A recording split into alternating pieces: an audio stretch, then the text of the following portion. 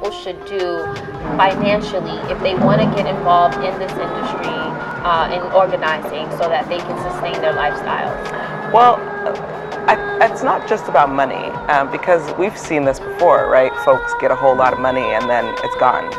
Uh, it's about how we understand utilizing money, what kind of resources it can help us um, gain, and how it can support us in our long-term goals.